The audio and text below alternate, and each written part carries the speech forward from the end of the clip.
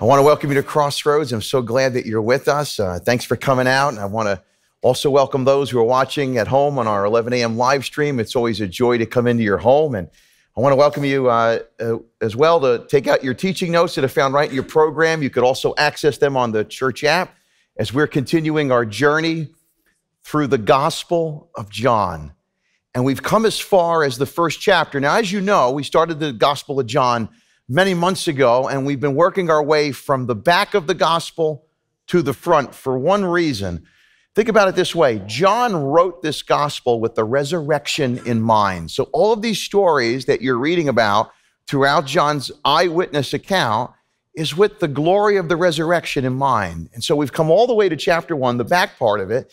And here we're going to see John the Baptist, Jesus' cousin, directs his disciples to follow Jesus. And in the process, he gives to the very first set of disciples a calling, a calling to follow him. And so I want to talk with you today about receiving God's call. So you want to make sure that you're available to get God's call. Now, there's a lot of fraudulent calls that are out there today. Um, USA Today News said on average, there are 33 million false calls a day that are made that people call you up they want your bank account um, they want information on this. I want to sell you protection for your computer all this type of stuff. Now me and my sick humor i say hold on a second let me get my bank account information so i could give it to you. Well, obviously you're not. I tell them a few other things that i can't say now. I'll say at the next service the late service not this one but uh, but there's a lot of fraudulent calls that are out there but god is sending a call to you and I. The Bible's filled with callings, if you think about it. God calls us out of darkness and into what? To marvelous light.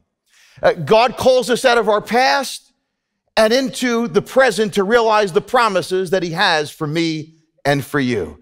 God calls us out of bondage. He calls us out of addiction. Throughout the Bible, God called people. Think about it. He called Noah to build a boat, to build the ark. He called Abraham to be a blessing. He called Joseph to be a leader along with Pharaoh.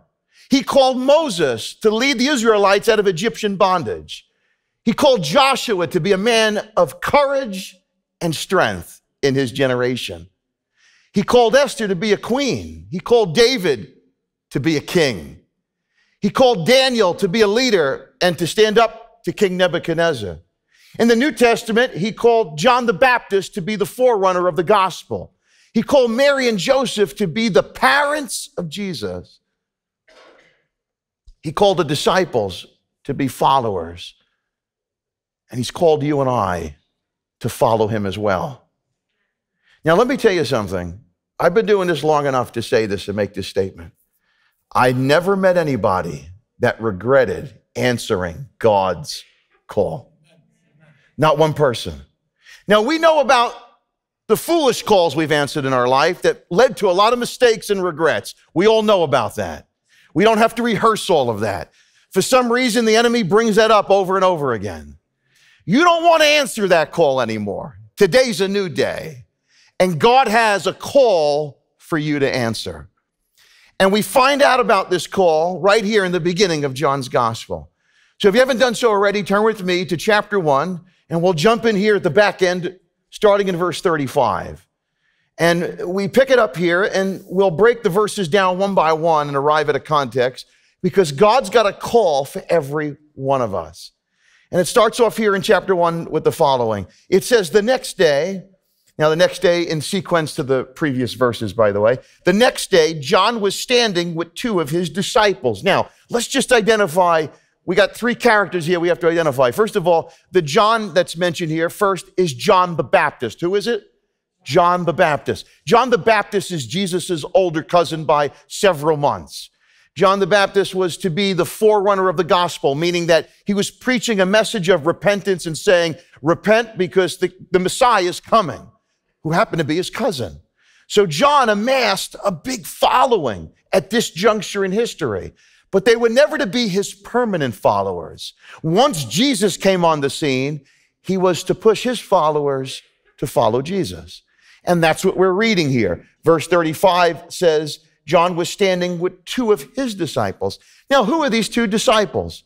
Well, it's important to know who these are in case you're ever on Jeopardy. This could be a question and you can move on to the next round or win a lot of money. You could thank me. But the two of his disciples that were here with him were Andrew, who's the brother of Peter, and John, the author of this gospel. John never names himself throughout his gospel, it's just his humility. Now, these are the two disciples who were with John the Baptist. So they're followers. They're already, I would say, believing and waiting for the Messiah. Verse 36, it says, And he looked, that's John the Baptist, and he sees Jesus walking by. And he says to Andrew and John, Behold the Lamb of God. Now, that's a beautiful statement there. Lamb of God. The Jews knew what that meant because of the sacrificial system. Jesus is called the Lamb of God who takes away the sins of the world. It's, it's looking forward to the cross, that Christ would go to the cross and he would take my place and your place there. He would be the Lamb of God who dies for our sins. And so John goes, There he is. That's the Messiah, the Lamb of God. And then verse 37 says, The two disciples heard him say this. Finish it, rest, rest of it with me. And they followed Jesus. And so John redirects his disciples now to follow Jesus. But I think there's a principle here that you don't want to miss. This could have went another way. John could have had a big head at this point going, look at everybody that's following me. I'm quote unquote God's prophet. Look what everybody's coming to me. Look what God's doing through me. But he didn't do it. Remember what Jesus said about John the Baptist? There was never a greater life. Why? Because John is humble. That's why. A few weeks ago, we read that John said, He must increase and I must decrease. So take notice of this first principle here in your notes today. If you want to receive God's call, it's going to be hard to receive his call if we're not this, but here it is. Let us remain humble. Can we say that together? Remain humble. We want to be a humble people. God loves to use humble people. Somebody said it this way there is no limit to the good a person could do if they don't care who gets the credit. That fits John the Baptist. He's not worried about who's getting the credit in terms of himself. He's directing people to Jesus. We need to be humble because if we're not, we have to realize something. God has already said he gives grace to the humble, but what? He opposes the prideful. Um, it's been said this way, but God is going to keep, if you're prideful, God is ultimately going to keep you at a distance. Take notice of Psalm 138, verse 6, right here in your notes, a great verse to commit to memory. Why don't we say this verse together aloud? Okay, here it is. Though the Lord is great, he cares for the humble, but he keeps at a distance. He keeps the prideful at a distance. He gives the prideful a stiff arm. You know, it's kind of like being a parent your kid's humble and doing what they got to do, and every once in a while a teenager listens, okay? It's called a miracle, okay? But but when it, but think of it this way: when your kid when the kid's humble, you know, you'll give him everything. You don't care. But if a kid is prideful, as a parent, you actually you actually lead them down the wrong road if you keep letting it go on and you don't do or say something about it. And so God keeps a distance if we're prideful because he's teaching us because the pathway and God's way is what? Humility. We want to be a humble people, and we got to be careful of pride. I shared this quote with you once before, but it's by the great basketball coach, the late John Wooden, who coached uh, UCLA Bruins to an unprecedented 11 NCAA Division I college championships. Look what he said to his players, and he was a devout follower of Christ. And this is what he said Talent is God given, be humble. Fame is man given. Be thankful. Conceit is self given. Be careful. And so we want to be careful of pride because pride comes what? Before the fall. Nobody just says they're going to slip into a bad habit. Nobody just says they're going to start making bad mistakes. Pride is at the heart of it. And so let us be a people who remain humble because, in addition to being on the right path, we want to hear God's call. We'll never be able to hear the voice of God because pride drowns it out. That's why. And our culture is intoxicated with pride right now, and that's just simply not God's best. God has called us to be a humble people. In fact, Jesus' very first sermon underscores that. Look what it says in Matthew's Gospel, chapter 5, verse 3. This verse is also in your notes. Let's say it together aloud, okay? Together. Blessed are the poor in spirit, for theirs is the kingdom of heaven. Now, contrary to misconception, poor in spirit has nothing to do with your bank account. It's talking about your pride. In other words, it's saying, Blessed are those who are humble. Jesus would go on to say, Blessed are the meek. God is calling you and I to be a humble people because if we're not, uh, He'll turn us over to our pride eventually. Before we move on to the next group of verses, I heard this story about a couple who was celebrating their 30th wedding anniversary. And ironically, uh, they were both turning 60 all within the same week. The anniversary and then their birthdays were within a day of each other. Now, an angel came to the party, and an angel came to the wife first and said, To celebrate this beautiful week in the life of your family, heaven wants to grant you one prayer request instantly. What will it be in connection with your family?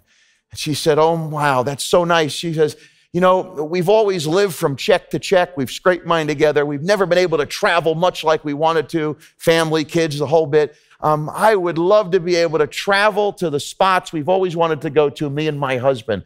The angel said, No problem. Poof. And she had these tickets that she can get on any plane she wanted and to go to any destination she wanted to. Okay. Then the angel came to the husband separately. And he said, I want to grant you a, prayer request in honor of this beautiful occasion of your 30th anniversary and the birthdays, uh, your 60th birthday, both you and your wife. He thought for a second. He said, You know what? He goes, I'm 60 now. He goes, I, I, would, I would love to be married to a woman 30 years younger than me. The angel said, Wait, wait a minute. What kind of request is that? So the angel said, I gotta, I gotta go check, I gotta check upstairs about that one. So the angel went up to heaven, went to the throne, and God shook his head when he heard it. He says, All right, give him what he wants. That's what he wants. So the angel came down. He said, Well, he goes, I don't ask questions. I just deliver the messages. That's my job. But heaven has granted your request. Poof! And as soon as he said that, the man's back, he said, Man, my back's hurting. He goes, Man, I'm having trouble standing with my hip. He said, Well, that's because God has granted your request. You're now 90, and your wife is still 60. we need to be careful. We need to be careful with our pride and our selfishness.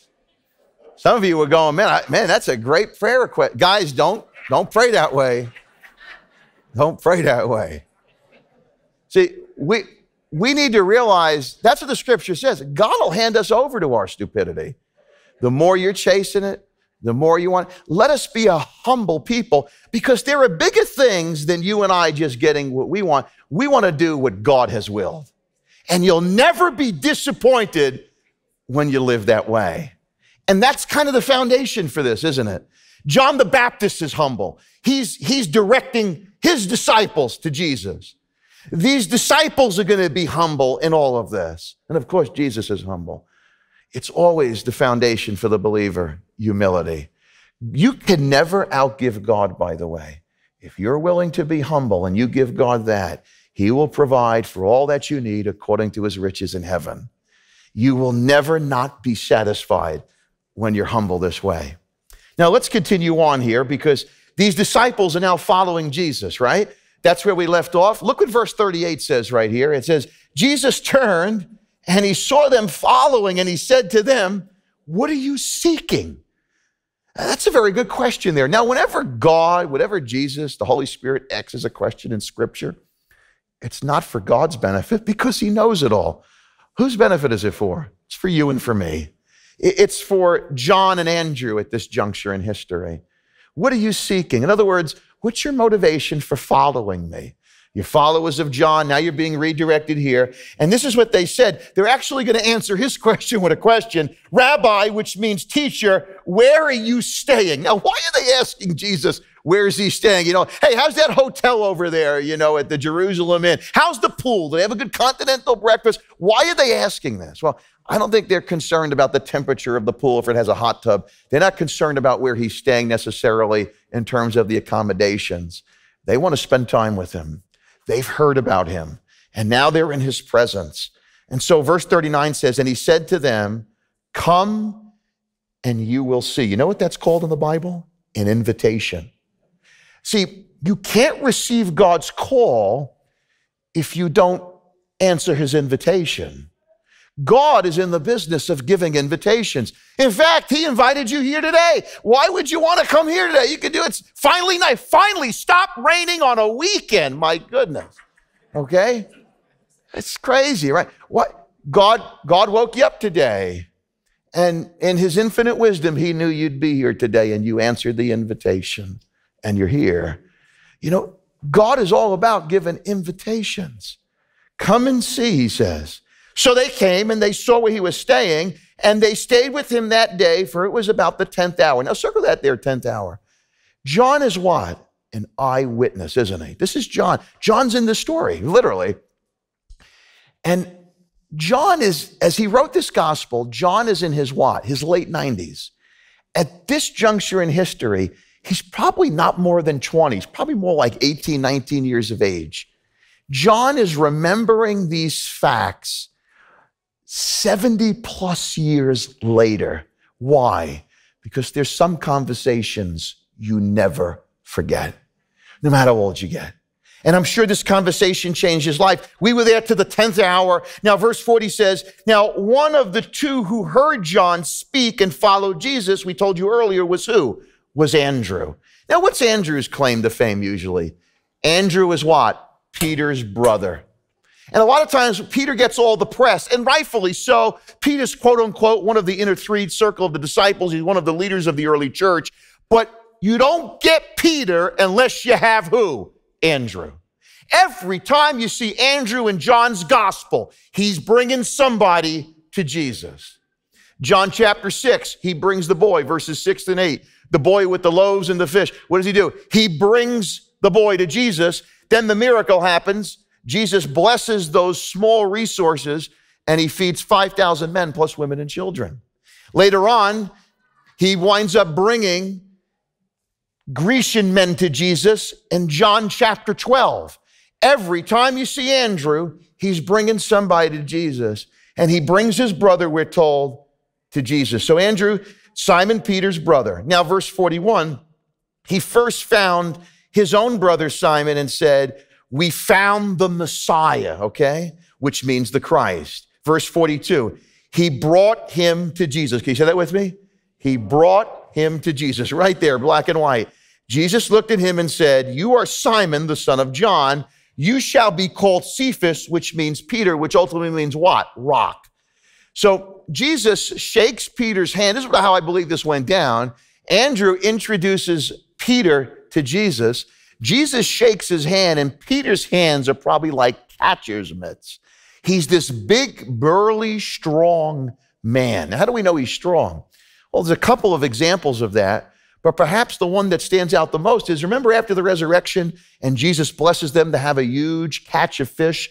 You have a couple men trying to bring the nets in. They couldn't do it. Peter says, Get out of my way. And Peter by himself brings the nets in.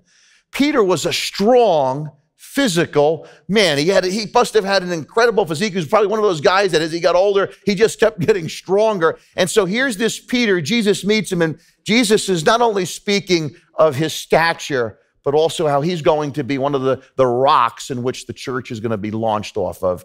And so Jesus says that to him. Now, it goes on to say in verse 33 the next day, Jesus decided to go to Galilee, and now he's going to find Philip. So, so far, we have four disciples called. You have John and his brother. Who's John's brother? James. That's two. Plus two more Andrew and Peter. You with me so far? So far, we got four. Now we're going to meet two more disciples. It says, Now Philip was from Bethsaida, the city of Andrew and Peter. And Philip found Nathanael and said to him, We have found him whom Moses in the law and also the prophets wrote about Jesus of Nazareth, the son of Joseph. Now, you have now Philip, and Philip is an interesting study and a character in the Gospels as well. And we'll cover him at a later date. But Philip brings his brother Nathaniel. Now, Nathaniel, why does he tell Nathaniel about Moses? Because Nathaniel, as we find out from studying the scripture and church history, Nathaniel was studying what we know to be today as the Old Testament. Anytime you see this phrase here, the law of the prophets or Moses, the law of the prophets, that was just their way at that time of referring to what we know to be as the Old Testament. Nathaniel was waiting for the Messiah, studying the Old Testament, and that's what his brother appeals to him for. Now, Nathaniel makes this statement and he says this to his brother Philip Can anything good come from Nazareth? And Philip said to him, Come and see. Another invitation. Why did he say that concerning Nazareth? Because Nazareth was a small, insignificant village. It was a brothel. It was Roman occupied. It was a stopover place. You know, um, it was kind of the forgotten village, like where the forgotten borough. What, what could good come out of Staten Island other than, you know, deer and potholes, right, and cameras? What could good could come out of Nazareth? Well, Jesus is coming out of Nazareth, and that's what Nathaniel is trying to reason all this. But then here's that statement again: "Come and see the invitation." As we get ready to look at this here, you might be going, well, of course they're going to come and see. All these disciples, they were probably a bunch of losers, right? Because those are usually the people that, you know, they got to kind of go to church now because they struck out in life. So now they got to start coming to Jesus because they made a mess of things. On the contrary, you need to understand church history and the history of the Bible. Andrew and Peter, James and John, they were partners in a lucrative fishing business. In fact, they had boats, that's plural, and nets, plural, and employees, plural. Peter owned his own home in Capernaum. The high priest knew who John was. Andrew apparently has a leadership capability. Maybe he was the CEO of the fishing company. You go on here, Nathaniel's a studied man. Philip, these were uh, not just some, some regular guys or anything like that. Uh, these, these men were men of society, and Jesus is calling them. And so a principle emerges here that you want to take notice in your notes, and it's as follows Respond to God's invitations without delay. When God calls you, you got to respond. If God is uh, calling you to stop something you shouldn't be doing, you got to listen. God's calling you to be a better father, a better mother, um, a, a good kid. God has these calls in scripture and you want to listen to them because if you obey them, it's going to propel you to where God wants you to be. And there's other things on that road. He has blessings earmarked for you, for your family, for your destiny that are waiting for you. But if we're too busy rejecting his call and not responding, we'll never realize the call that he has for us. God has put a calling on my life and your life. And again, He calls us to places, He calls us to His purpose, He calls us to positions, He calls us to promotions. Most importantly, He's called us to be sons and daughters of Him. And we want to receive His calling. Now, there are a number of callings in the scripture. Let me just share a few of them with you. Look what it says here in Isaiah 118. This is a call, this is an invitation. This is a great verse to commit to memory. Why don't we say this together aloud, okay? Come now, let us reason together, says the Lord. Though your sins are like scarlet, they shall be white as snow. Though they are as red as crimson, they shall become like wool. That's an invitation. Come, let us reason. In other words, come, let us talk about this. It's not an intellectual test, it's not a, a religion test. God says, Come, let us reason together, okay? Now, the New Testament has a similar invitation. This comes right out of the mouth of Jesus in Matthew chapter 11, verse 28. Why don't we say this verse together aloud? Another verse to commit to memory. Together. Come to me, all who labor and are heavy laden, and I will give you rest. Now, that's a great promise there. Now, give you rest. Well, you might think, well, I just got to go on vacation, I'll have rest. Have you ever noticed that when you come back from vacation, you need a vacation from your vacation? You ever notice that? And you ever notice that when you leave your problems, you come back, your problems are still there? So, you know, this thought we have, I just got to get away. I'm all for getting away. But when you get away, you really don't get away. And so we could be trying to find rest, and nothing wrong with it. You got to put your feet up, but the bell rings right when your feet are up. Have you ever noticed that right when you're about to eat, the bell rings and it's the solar panel guy? I mean, leave everybody alone. It's, it's it, every day. So I got solar panels, but, and it's no more solar panels are being made. And you got, well, do you have a website? No, we don't have a website. You have any documentation? No. Well, what do you got here? You're going to put solar panels up. You don't even got a website. It's 2023. But you know, there's lots of there's lots of distractions and that try to offer rest to you and I. What we must realize is, is only God could give you soul rest.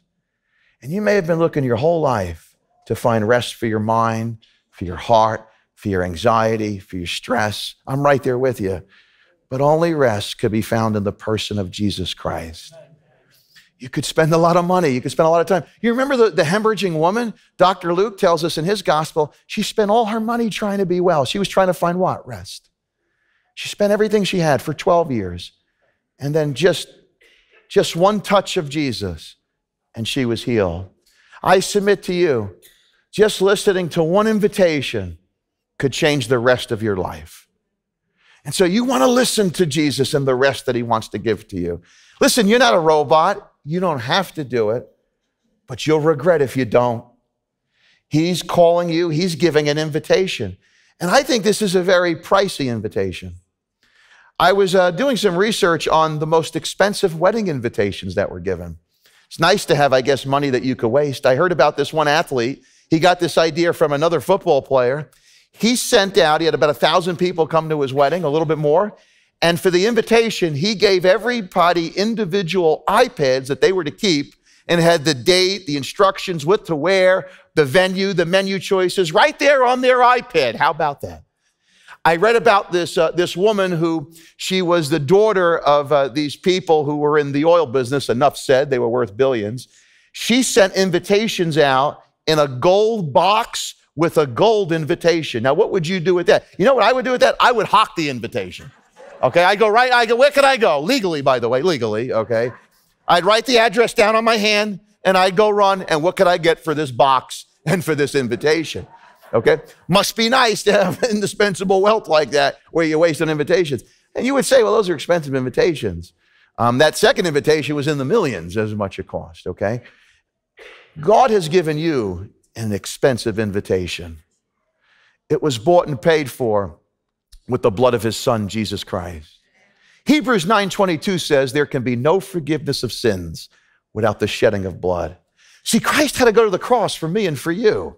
He took my place and he took your place. And he's able to give these invitations. Nobody else could give these invitations for soul rest. Nobody else could say, Come, let us reason together. Nobody else was the sin offering of the world but him. And so he gives this invitation for you to come. And as you're sitting here today, I pray that you have answered the invitation to come to Christ and accept him as Savior because there's no other name by which you can be saved and no other invitation that could give you eternal life than this one and you want to RSVP to this invitation, you don't want to wait. But it doesn't stop there. Once you answer this invitation, God has other invitations for you to answer. Look what it says in Luke's Gospel, chapter 16, verse 10, the first part of it. One who is faithful in very little is also, finish it with me, faithful in much. In other words, God has put certain things in your hands. You might go, Well, nobody knows me, or look where I am right now. You be faithful right where you are and leave the rest to God. God sees it. God sees when you say yes to Him and no to evil. Maybe nobody else does. God sees when you choose humility over pride. God sees when you forgive instead of being bitter. God sees when you choose to show mercy and grace. God sees all those things. These are invitations as well to be faithful. God sees when you're generous with your time. God sees when you're generous with your talents. God sees when you're generous with your treasure. God sees those things. And when you're faithful with that, He knows He can trust you with more. What blessings does God have earmarked for you right now in heaven that He's waiting to drop in your life? He's just saying, because I told you before, we know we could trust God, but could God trust us? That's the better question. Can He trust us with the little? I pray He can. And so, right now, what has God put in your hand? Well, I'm young. Well, your youth, you know, your abilities athletics, academics, whatever it is, God has put that in your hand. Use it for His glory. Your family, your business, your life, whatever it is. I've told you before about Moses and how God used him.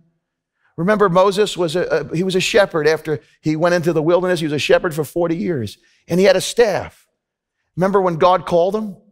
What did God say to him? Moses, what's in your hand? Now, was God blind? Could God not recognize what was in his hand? Of course, God knew what it was. Again, that question was for Moses. And Moses had to answer that question and let go of that staff. Now, that staff represented his income, it represented his influence, it represented his identity. He was a shepherd. Once he let it go, from that point on in the book of Exodus, it was no longer called Moses' staff. It was now known as what? The rod of God. And God used that rod to do amazing things. And God used Moses to do amazing things, including parting the Red Sea, which led to calling the Israelites out of captivity away from Egyptian bondage. I submit to you that you want to respond to God's invitations as a believer to be faithful because God will use that to call you out of something you shouldn't be in and bring you into the fullness of God's plan for your life. You want to respond to God without delay and leave the results to Him. That is His will for me and His will for you. Now, as we wrap this up here today, uh, look at these closing verses here because Jesus is now going to correspond with Nathanael. Just so you know, the first time that Jesus speaks in John's gospel, we read it earlier, when he asked the question, What do you come to seek? Now he's going to speak again, and now he's going to have a conversation with Nathanael. So now it says in verse 47 Jesus saw Nathanael coming toward him, and he said, Behold, an Israelite, indeed, in whom there is no deceit. What is Jesus saying there? He's saying, you know, Nathaniel, Nathaniel's not perfect, but he's saying, Nathaniel, you're not a hypocrite. I know you're reading the Old Testament, and you're not just going through the motions like these religious leaders are. You really believe this, and you're living it out. There's no deceit in you. There's no agenda. You're not looking to manipulate anybody. You really do love the God of the Old Testament that you're reading about. Now, Nathaniel then responds and says, How do you know me? And Jesus answered and said, I looked at your Instagram page before. No, he didn't say that, but he said this. He says, Before Philip called you, listen, now this is very, this is very interesting here. Before Philip called you, you were under the fig tree and I saw you. Now that happened to be the day before. Nathanael answered him and said, Rabbi, you are the Son of God. You are the King of Israel. Verse 50, Jesus answered him and said, Because I said to you, I saw you under the fig tree, do you believe? You will see greater things than these. Now, verse 51, and he said to him, Truly, truly, I say to you. Now, put your finger there, we'll come back to it. Now, what's going on here? Jesus says, Nathaniel, I saw you under the fig tree. Now, Nathaniel's blown away by this because he's saying that was yesterday. And to make matters even a little bit more, you know, crazier for Nathaniel, Jesus is even going to tell him what he's reading. He goes on to say, Truly, truly, I say to you, you will see heaven opened and the angels of God ascending and descending on the Son of Man. So not only does he tell him what, where he was, but what he was doing, he also tells him what he's reading. You might say, How do we know what he was reading? Nathaniel loves the Old Testament as we know it. What passage of scripture talks about angels ascending and descending? Genesis 28 with Jacob. I believe when you get to heaven, you can ask Nathaniel, and Nathaniel will say, Ray was right. Okay, just so you know. But I guarantee you, Nathaniel was open to Genesis chapter 28.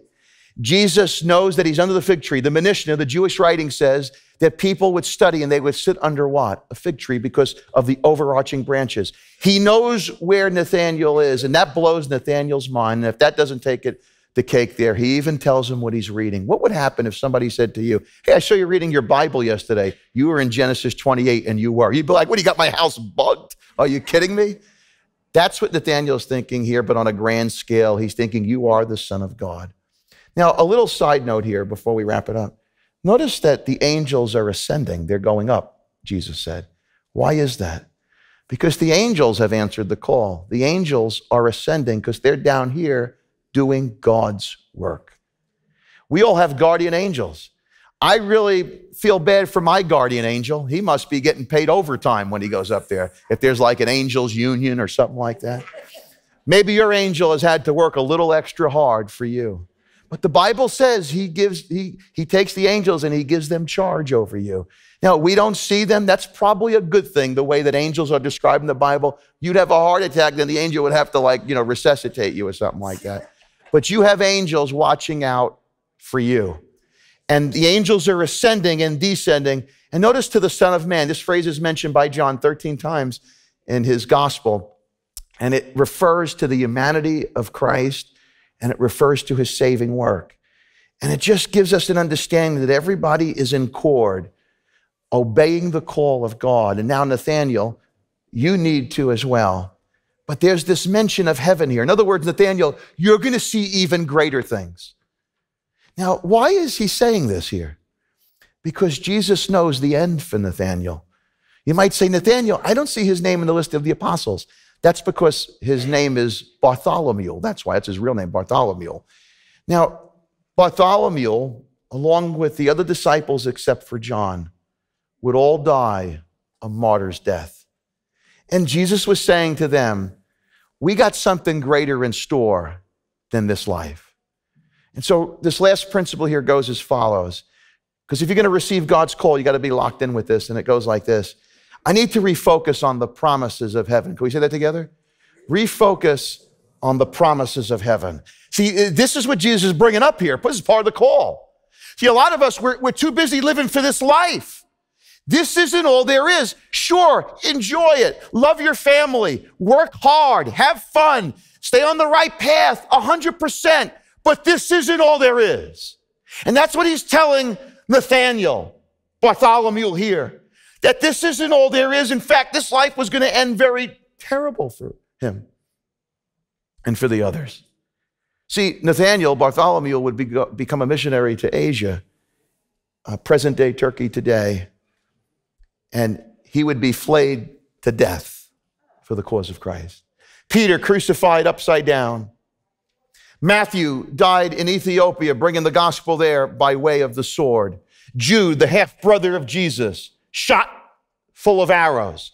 Thomas, impaled Thomas took the gospel to India. You know, we have a lot of, over the three services, we have a lot of, we've always had in our church, probably from 2003, uh, the year after we began, we have a lot of brothers and sisters uh, uh, with an Indian background, okay? Thomas took the gospel to India. 2,000 years later, to see Indian people who know Christ, that's the direct result of him taking God's call there, by the way. Truly amazing. Thomas martyred for Christ. James, the, the, the half brother of Jesus, he wasn't an official apostle, but he, he wrote the Epistle of James, and he was the first leading pastor of the church of Jerusalem. Uh, James was martyred. James, John's brother, who we read about earlier, okay, he's the first martyr of the Christian church. Acts chapter 12, verse 2. I told you, Peter crucified upside down. How about Andrew? Andrew, who was always bringing people to Jesus. What was his reward? A yacht? Because don't they say that on TV? You're going to get everything you want in a yacht and a boat and a pro. Who said that? God don't say that. Don't live for this life. There's a greater life to come. Andrew was stretched and crucified on an X shaped cross. And here's a quote that he said while he was being crucified I have long desired and expected this happy hour. The cross has been consecrated already by the body of Christ hanging on it and he preached to his tormentors until he took his last breath. Matthias, who replaced Judas, he was stoned to death. What about John, you might ask, who wrote this gospel? They tried to kill John. They tried to whack him. They threw him in a big pot and tried to boil him to death, but it didn't work. John would die of old age. Maybe that was his reward because he was the only disciple who was at the foot of the cross when everybody else ran. All of these men would eventually answer the invitation and the call to be faithful. And not even death, staring death literally in the face, could stop them from responding to the call.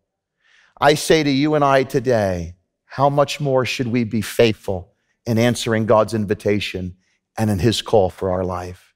How much more should we go all in for Christ, knowing that this isn't all there is, that we have a greater hope beyond this world. And I, I close with this story that I've shared at memorial services in the past, but it, it was of this, this young girl who uh, was sadly had, she had a childhood aggressive cancer. And she was dying. Her uncle happened to be her treating oncologist and physician. And there was no more going to his office. He was now treating her at home. And as he was sitting with his brother and his sister in law, with the little girl in bed, it was coming very close to her end. And so his brother turns to him and he goes, How much more time do we have? And he said, I'm afraid that her best days are behind her. The little girl laying there, her parents now crying. She doesn't even bat an eye. She musters some strength and she positions her body upward. And she said to her uncle, My best days are not behind me, my best days are ahead of me. She was a believer in Jesus Christ, the promise of heaven. Where do you stand today? Have you answered the invitation for eternal life? As a believer, have you answered the call to follow Jesus? You'll never regret. You know, it's a, there's a lot, again, fraudulent calls out there that will really, without question, make your life a lot harder. We could all testify to answering those silly calls. Uh, you don't want to answer that any longer. You want to answer the calls that Jesus has on your life. Whatever God's going to take you through in life, whatever road He's going to take you down, whatever your occupation will be, you want to follow Jesus all the days of your life. Even your mistakes, God could use to become part of His message through you. But we got to be a people who receive the call with humility, respond without delay, and refocus all the more on the promise of heaven. Because you know what he was saying to Nathaniel and to the rest of these disciples? You ain't seen nothing yet. Don't get caught up in how you're going to die because they would die martyrs' deaths, all of them, except for John. Don't get caught up in this life because there's something great coming that the angels are ascending and descending from. And one day you will share in that as well because he has called us once again out of the darkness and into the marvelous light of the salvation that he provides through the finished work of his son Jesus Christ and the victory of the empty tomb in Jerusalem. If you believe that, say amen. Well, I pray you receive that today, and I want to encourage you to, to receive God's call. If you've never asked Christ into your heart today, I want to lead you in a prayer right now, and, and you want to accept this call of salvation. So, with all of our heads bowed and eyes closed, just pray with me right now. You could do so at home as well. Just say, Dear God, I know I'm a sinner.